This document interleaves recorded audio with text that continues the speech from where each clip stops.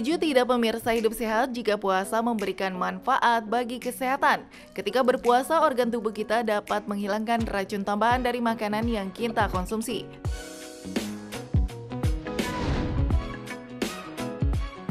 Sejatinya puasa bermanfaat untuk kesehatan jantung, tekanan darah, mengontrol gula darah, dan juga menurunkan berat badan.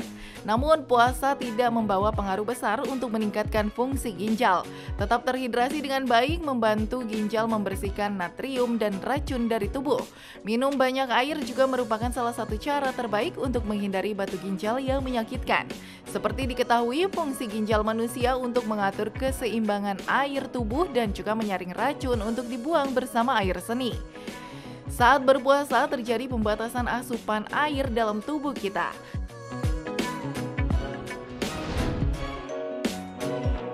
Nah, bagaimana caranya agar ginjal tetap sehat saat kita berpuasa? Hidup Sehat akan mengupasnya bersama narasumber ahli di studio.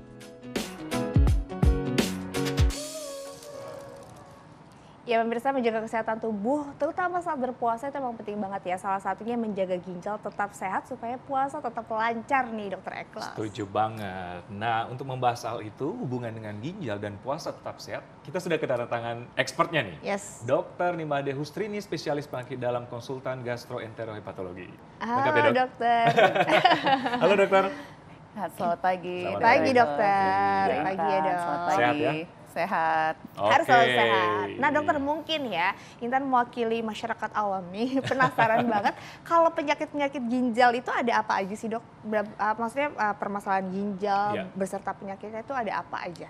Iya, jadi kalau penyakit ginjal itu sangat luas ya. Hmm. Kalau ada beberapa terminologi, misalnya kita bagi sebagai penyakit ginjal akut ya, hmm. atau gangguan ginjal akut, di mana fungsi ginjal mendadak turun ya. Hmm. Awalnya misalnya normal, tapi karena suatu misalnya ada orang muda ginjalnya sehat tapi dia kemudian kecelakaan dan dia uh, kehilangan banyak darah nah itu bisa menyebabkan gangguan aliran darah ke ginjal hmm. sehingga fungsi ginjal men menurun dengan tiba-tiba nah, itu yeah. disebut sebagai gangguan ginjal akut uh, untungnya ya tanda kutip untungnya uh, gangguan ginjal akut ini bisa diatasi ya misalnya orang yang tadi itu diberikan transfusi, transfusi darah, darah ya? sehingga hemoglobinnya uh, meningkat Baik. sampai level tertentu sehingga aliran darah ke ginjal kembali lagi dengan sempurna hmm. sehingga uh, fungsi ginjalnya akan kembali, kembali lagi. lagi ya. Betul. Kemudian yang kedua adalah uh, penyakit ginjal kronik. Nah, ini nih yang uh, biasa menjadi momok di iya. masyarakat ya, ya di mana penyakit ginjal kronik ini bisa disebabkan oleh banyak hal ya, misalnya terutama diabetes, hipertensi, kemudian penyakit uh, peradangan pada ginjal, ya disebut juga glomerulonefritis atau uh, penyakit ginjal karena batu ya, hmm. ya atau tumor dan sebagainya ya atau uh, penyakit yang disebabkan oleh uh, kongenital atau keturunan yeah. ya misalnya ada penyakit polikistik ya yang bisa menyebabkan ginjal itu ditumbuhi banyak sekali uh, kista Kistik. sehingga itu bisa menyebabkan uh, penurunan fungsi ginjal bahkan ke gagal ginjal atau uh, salah satu yang lain adalah karena uh, konsumsi terlalu banyak uh, bahan atau obat-obatan yang nefrotoksik atau uh, menyebabkan kerusakan, ginjal. ginjal. Seperti itu. Hmm, okay, okay, ternyata okay. banyak sekali ya iya. jenis ya, penyakit betul. ginjal dan juga penyebab-penyebabnya ya dokter ya. Benar, betul. Benar. Nah, ya. kita ada fakta mitos nih dokter. Orang dengan penyakit ginjal tidak dianjurkan berpuasa. Fakta atau mitos dokter? Uh, mungkin saya jawabnya mitos ya. Ya, ya jadi oh, penjelasannya karena Uh, sebetulnya pada pasien penyakit ginjal itu tidak semuanya tidak boleh berpuasa. Ya, jadi uh, misalnya pada pasien dengan penyakit ginjal kronik stadium 1 dan 2, artinya fungsi ginjalnya masih di atas 60, itu masih bisa berpuasa hmm. dengan baik ya. Hmm. Kecuali nanti mereka-mereka yang sudah masuk ke stadium 3, terutama stadium 3 yang tidak stabil, artinya fungsi ginjalnya sekitar 30 sampai 60. Nah, itu harus hati-hati berpuasa dan kita tidak menganjurkan untuk berpuasa pada pasien yang sudah masuk ke stadium uh, tapi tidak stabil fungsi ginjalnya, ya. artinya akan ada kemungkinan apabila pasien ini berpuasa, berpuasa akan terjadi penurunan fungsi ginjal atau pasien yang sudah transplant ginjal ya atau pada pasien kita tidak memperbolehkan untuk berpuasa pada pasien yang sudah masuk ke stadium 4 dan 5. Oke, okay, oke, okay, oke, okay, oke. Jadi tergantung ya. stadiumnya. Ya, tingkatnya ya, dokter ya. ya. Nah, dokter, ini kan tadi dokter bilang berarti ada kondisi tertentu bagi orang yang sakit ginjal untuk bisa berpuasa. Ini ada fakta dan mitos yang beredar, dokter. Ini katanya puasa bisa menjadi terapi untuk pengobatan ginjal. Ini fakta atau mitos? Um, mungkin dijawabnya uh, fakta ya fakta karena uh, banyak catatannya ya. Hmm. Misalnya di stadium-stadium awal pasien stadium awal dari penyakit ginjal maksud saya, misalnya pasien yang uh, gangguan ginjalnya disebabkan karena hipertensi hmm. atau diabetes atau gangguan pada jantung. Nah, dengan berpuasa maka uh, beberapa ya betul beberapa studi menyebutkan bisa menurunkan tekanan darah ya. Jadi artinya tekanan darah lebih terkontrol sehingga ini bisa mempengaruhi outcome pada ginjalnya ataupun pasien-pasien diabetes bisa gula darahnya lebih terkontrol ya. Mungkin itu yang uh, apa namanya bisa sedikit tidaknya mempengaruhi fungsi ginjal.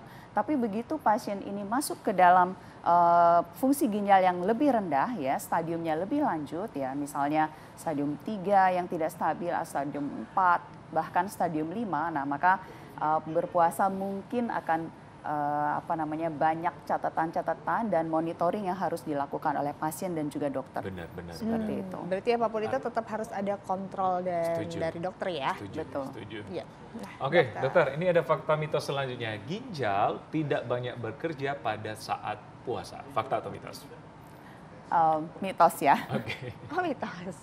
ya, jadi karena uh, ginjal itu selalu bekerja Iya, ginjal selalu non bekerja ya. nonstop.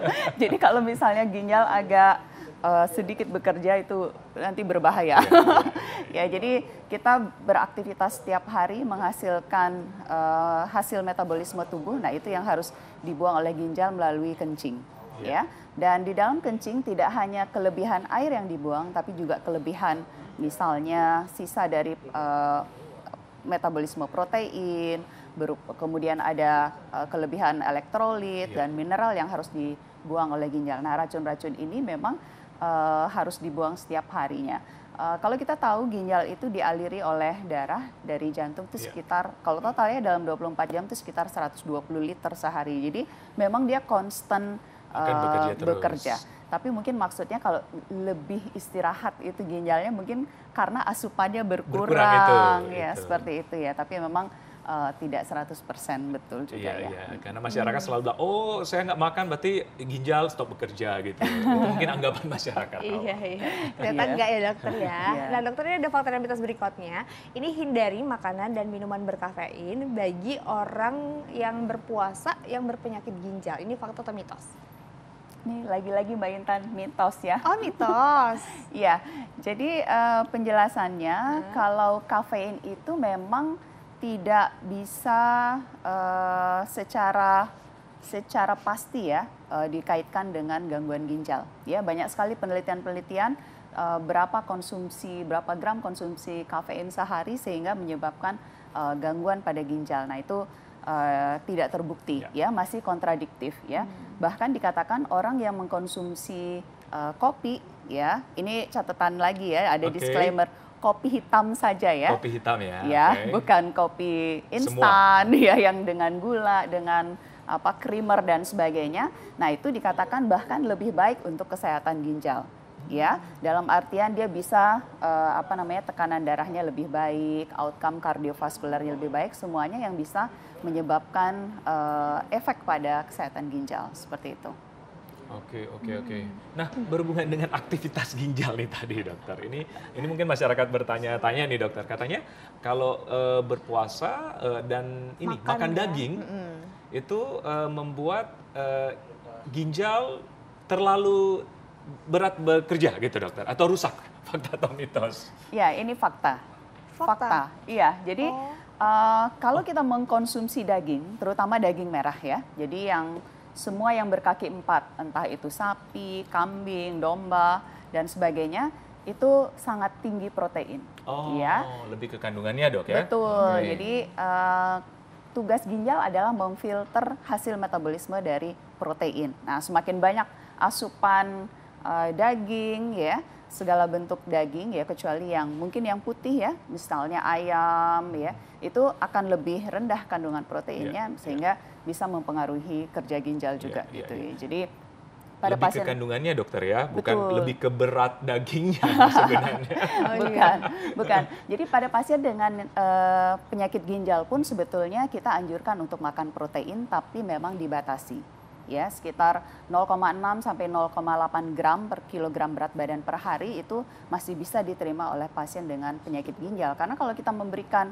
asupan terlalu banyak protein ya tidak terbatas hanya daging ya Mbak Intan dan Dr. Ekos ya, yeah. tapi uh, semua jenis ya misalnya kita uh, minum susu kemudian protein-protein dari uh, nabati dan sebagainya itu juga akan mempengaruhi hmm. uh, apa namanya kerja ginjal. Kerja ginjal ya. ya. Hmm, Oke, okay. nah tapi berarti selain tadi kan daging merah, juga makanan-makanan berprotein tinggi. Selain itu, apalagi dokter yang perlu kita sedikit apa ya kurangi, kurangi. atau kita awasi konsumsinya untuk supaya nggak merusak ginjal? Ya, jadi uh, ginjal itu tadi memang salah satu uh, tugasnya adalah membuang limbah, ya. Uh, sisa hasil metabolisme protein dan juga nanti dia harus menjaga keseimbangan elektrolit. Artinya uh, elektrolit yang uh, masuk ke dalam tubuh itu kalau berlebih akan dibuang oleh ginjal. Nah, apa saja makanan-makanan yang banyak mengandung elektrolit ya, terutama buah ya. Pada pasien uh, dengan gangguan fungsi ginjal, terutama misalnya fungsi ginjalnya di bawah 30 atau dia sudah masuk ke stadium 4 atau lebih lanjut bahkan stadium 5, stadium akhir dari penyakit ginjal, maka dia ada kekurangan atau penurunan kemampuan ginjalnya untuk membuang elektrolit dan juga uh, dibebani hmm. oleh protein ini. Hmm. Nah, elektrolit yang berbahaya itu salah satunya adalah kalium. Kalium itu banyak di buah, Mbak Intan. Ya, hmm. jadi eh, pasien-pasien uh, dengan uh, gangguan ginjal, ya ini harap berkonsultasi ke dokternya bagaimana cara mengkonsumsi buah yang aman. Ya, karena hampir semua buah itu mengandung tinggi kalium. Dan jangan lupa uh, umbi-umbian ya, semua yang ditanam di yeah. tanah ya misalnya apa kentang ya kemudian umbi singkong dan sebagainya itu juga tinggi kandungan kaliumnya. Kalium. Di samping itu juga uh, mineral lain adalah fosfat.